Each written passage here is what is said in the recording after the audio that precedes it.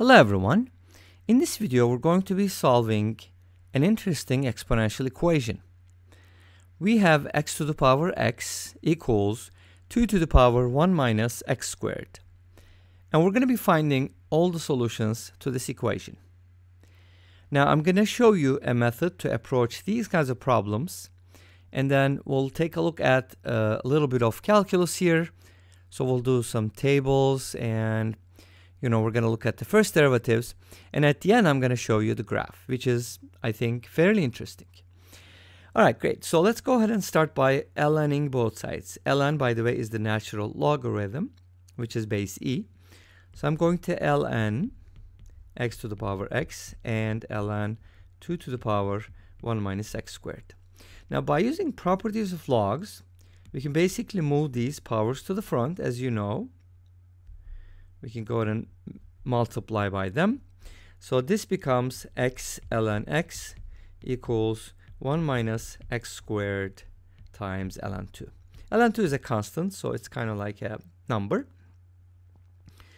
Now, the, the purpose of lning both sides is to get rid of the exponents because when you don't have any exponents, the expression looks more polynomial or at least um, you know, it's easier to handle in uh, for many reasons. So now we have the following equation, and you can kind of guess and check at this point. Obviously, it's a little easier. Now, for for example, one thing you can do is set both of uh, both sides equal to zero, right? And then from here, you're going to get the following. The left-hand side obviously says x must be positive because of ln, and in order for that product to equal zero, x must be zero. That's what the left-hand side says. The right-hand side says, in order for that to be 0, 1 minus x squared needs to be 0. This, this means x equals plus minus 1. Right? And by the way, I wrote x equals 0, but that, that's supposed to be x equals 1 because ln 1 is equal to 0. So it shouldn't be x equals 0 because that would contradict what I wrote. So we have the following cases, and of course, both of them have to happen at the same time. So this kind of tells you that the intersection is x equals 1. Now, obviously, this doesn't solve this equation completely because we still have to find other solutions if there are any, or prove that there are no other solutions. All right? But x equals 1 is a solution. And you can also check it uh, with the original equation, right? Okay, now let's go ahead and take a look at two functions here. Suppose our first function is f of x equals x to the power x. I think you should know how to graph this. We've done this quite a few times. But if you didn't, I'll show you one more time. I can go and ln both sides. ln f of x is going to be ln x to the power x, which can be written as x times ln x. Now I have this equation.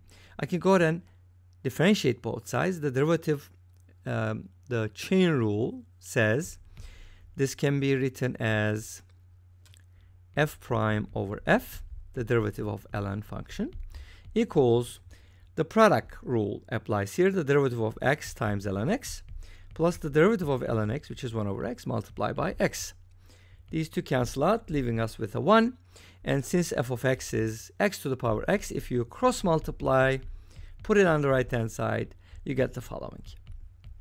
There are also some formulas and shortcuts for these kinds of things, but I wouldn't memorize them. Just ln both sides and differentiate. Make sense? Hopefully.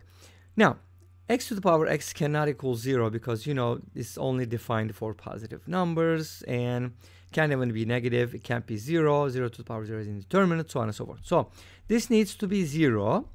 And from here we get ln x equals negative 1, which implies x equals e to the power negative 1, which means x equals 1 over e. That is a critical point for our derivative. So what happens to the right and to the left? So I'm going to go ahead and make a table here. So my table is going to look like this, x, f prime, and f. The only root for the derivative is 1 over e. The question is, what's going to happen to the right of 1 over e and to the left? Well, if x is greater than 1 over e, right? Then ln x, if you ln both sides, is going to be greater than negative 1.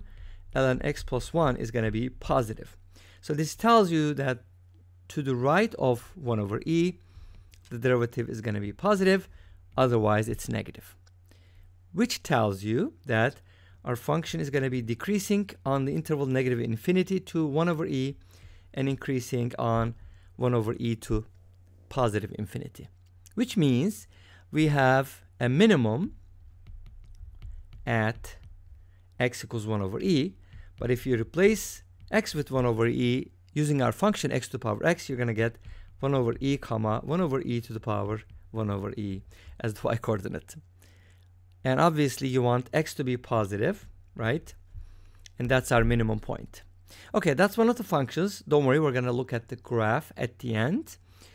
And that's going to give us a better idea. But let's go ahead and check the second function now. So I'm going to call that function g of x to distinguish between these two functions. And I would like to differentiate this. You don't need, you know, lning both sides here. You can just differentiate because this is exponential. How do you differentiate b to the power f of x or b to the power some function?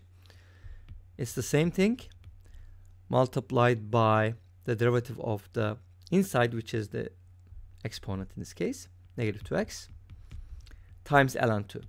We kind of need that correction because when our base is not e, the derivative must be adjusted. Okay?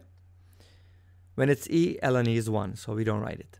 Set this equal to 0 again. This one is actually easier because this can't be 0, x must be 0. So x equals 0 is our critical point. So we should hopefully either have a max or a min at that point, but let's go ahead and check the table. And I know some folks like to do second derivative test, which is fine. x, this is g, and actually that's g prime, and this is g, and we have a 0.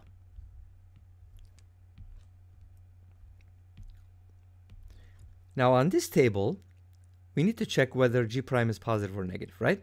But it's easy to do. Look, this is always positive. ln2 is positive because it's greater than 1.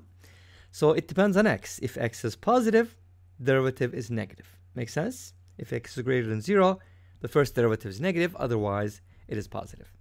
We have a different scenario here. It's going to increase and then decrease, giving us a max at 0.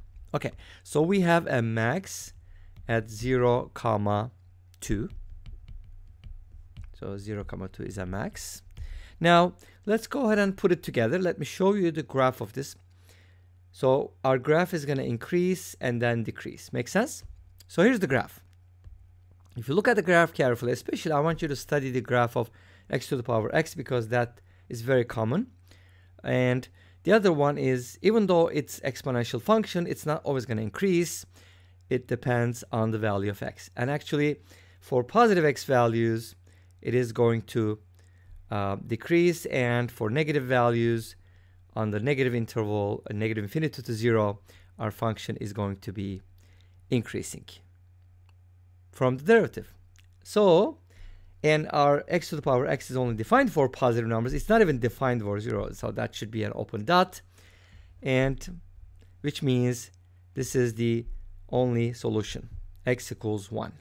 And this brings us to the end of this video. Thank you for watching. I hope you enjoyed it. Please let me know. Don't forget to comment, like, and subscribe. I'll see you tomorrow with another video. Until then, be safe, take care, and bye-bye.